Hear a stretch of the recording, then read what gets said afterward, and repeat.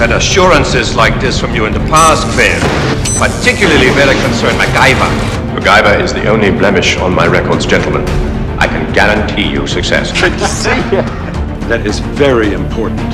Seems we have a very large hole in departmental security. Baby! My orders are to retrieve a piece of intelligence, not to carry out your damned blood feud. Yes, we're all staying right here until Mrs. Chung decodes the microfilm. Don't touch that door! It's MacGyver! You always did like to talk, didn't you, Quail?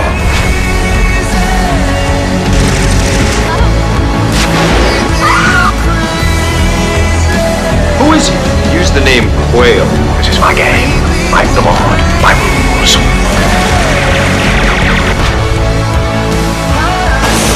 Welcome to my fortress. I must know exactly what he is doing.